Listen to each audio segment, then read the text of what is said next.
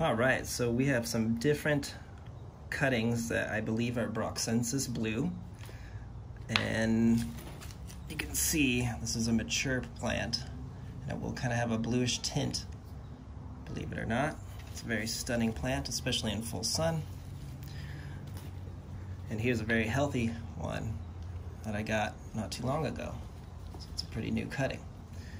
Now, one of the ones we got from Mr. Emrich has severe rot. So let me show you what that looks like. So you can see on the stem, right here, very badly damaged.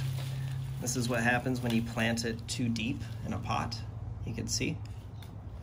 So this will never grow, in my opinion, very vigorously, in my experience. So I have to deal with this one way or another. So what I like to do is I'm gonna have to take cuttings of this plant.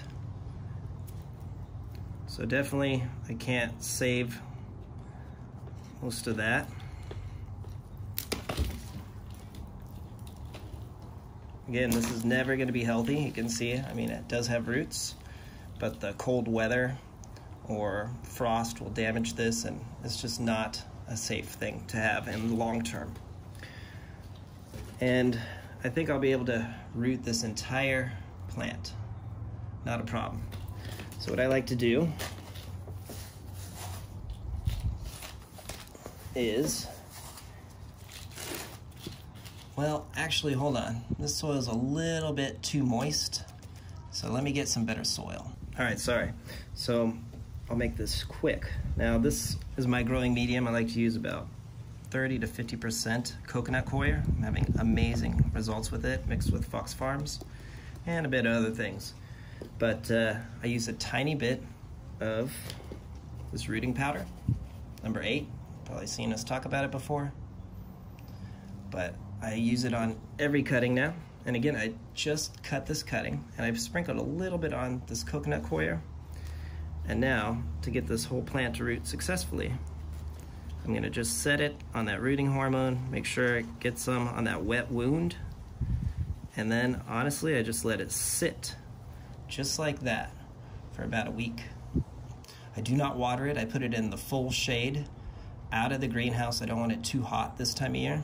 And this thing should root without a problem. I've been very successful rooting cuttings, hundreds of them, so this should be fine. Again, if you water it right now, that's the worst thing you could do. So do not water it. Use a nice dry growing medium.